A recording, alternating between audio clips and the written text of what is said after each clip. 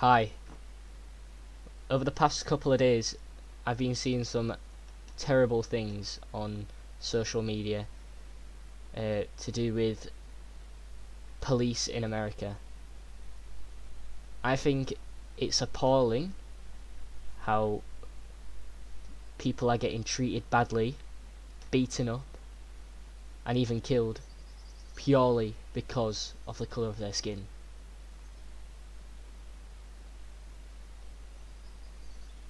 I just want to make sure everyone knows that I'm on I want people to be equal and I think this should be sorted out. I am leaving a link to donate to Black Lives Matter in the description below. So if you want you can donate.